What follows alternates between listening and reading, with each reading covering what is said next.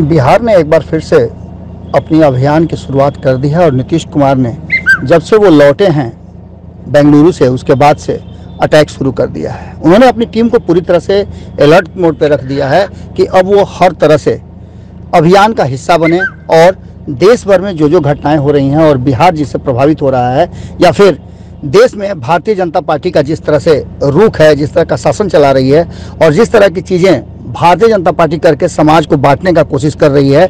2024 के चुनाव को जीतने के लिए वो हर हथकंडा अपना रही है, जो जायज़, नाजायज़ दोनों है। ऐसी स्थिति में लगातार भारतीय जनता पार्टी को अटैक करने के लिए अभियान शुरू हो चुका है। इसी अभियान का हिस्सा कल आपने देखा कि महिला मोर्चा से लेकर के प्रवक्ताओं ने रोड मार्च किया और भारतीय जनता पार्टी को मणिपुर के घटना पर घेरा। आज रामेश्वर महतो, जो कि एमएलसी हैं, उन्होंने अपनी बात को रखते हुए पूरी तरह से भारतीय जनता पार्टी और नरेंद्र मोदी के चुप रहने को लेकर के अपना सवाल खड़ा सवाल खड़ा किया है। इस सवाल का जवाब कई हिस्सों में है। आप देख सकते हैं कि किस तरह से बिहार से लेकर के मणिपुर और मणिपुर से लेकर के दिल्ली तक भारतीय जनता पार्टी के कहा जा रहा है कि खटिया खड़ी करने के लिए नीतीश कुमार ने अपनी टीम खड़ी कर दी है।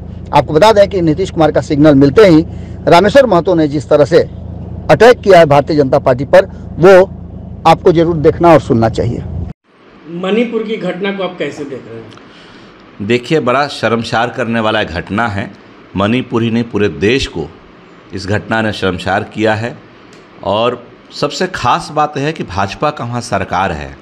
और भाजपा के लोग दूसरे किसी के राज्य में जहाँ पे भाजपा की सरकार ना हो और छोटा सा भी घटना हो जाए तो उस पर पूरा का पूरा एक एजेंडा इवेंट करके चलाते हैं। भाजपा की वहाँ सरकार है भाजपा के मुख्यमंत्री हैं। न अभी तक मुख्यमंत्री का इन्होंने इस्तीफा लिया है और न अभी तक प्रधानमंत्री जी वहाँ गए हैं। तो ये तो बहुत ही शर्मनाक बात है। जो पार्टी कहती है बेटी पढ़ाओ बेटी बचाओ आज उस पार्टी से बेटी बचाना मुश्किल हो गया देश के लोगों के लिए। कल एक बेगूसराय में भी घटना हुई है। इसको कैसे देखें? देखिए बेगूसराय में जो घटना हुई है उसमें आरोपी के नाम भी हो गए गिरफ्तारी भी हुई है और कार्रवाई भी होगी। घटना कहीं भी हो, कहीं भी कुछ घटना घटता और कानून कार्रवाई करे तो समझिए वहाँ कानून का राज है, जैसे बिहार में है। लेकिन दो महीना से ज़्यादा हो गया है मणिपुर के घटना का। क्या किया आज तक केंद्र सरकार ने?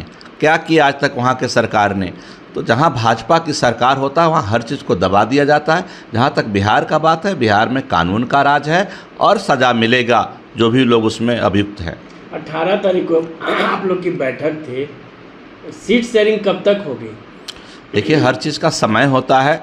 सबसे बड़ी बात तो यह है कि जो ये इंडिया बना है, महागठबंधन से इंडिया का नाम पड़ा जिसके सूत्रधार, इंडिया बनाने के लिए सूत्रधार हमारे नेता माननीय मुख्यमंत्री नीतीश कुमार जी हैं और बिहार के धरती से ये शुरुआत हुआ है। हमेशा बिहार ने देश को एक नया रास्ता दिया है, बदलाव का रास्ता दिया है। और ये जो रास्ता बना है जो इंडिया बना है ये इंडिया इस बार जीतेगा और भाजपा के लोगों को इस बार हराएगा देश के लोग और भाजपा मुक्त देश बनेगा। क्या लगता है कि ये 2024 में बीजेपी को आप लोग हरा हरा दीजिएगा?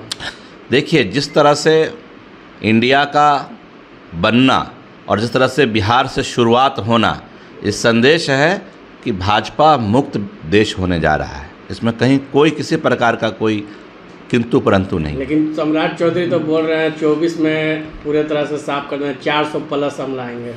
देखिए हर चीज़ के लिए समय होता है जैसा मैंने बताया। समय आएगा उनको भी पता चलेगा कि किधर आता और कितना आता है। सरकार तो बनाना दूर की बात है उनको अपना जमानत बचाना मुश्किल हो जाएगा भाजपा के लोगों के लिए मैं तो ये कहना है।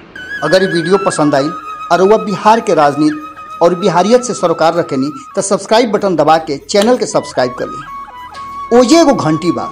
ओकरा बटन दबा देला से कुल सटीक और मारक खबर रुआ मुफ़्त में मिल जाई। अगर रुआ पत्रकारिता के हमनी के नया प्रयोग में सहयोग कर चाहतानी तो ज्वाइन बटन दबा दी। पेटीएम नंबर नोट कर ली nine three eight six eight one six seven double zero धन्यवाद।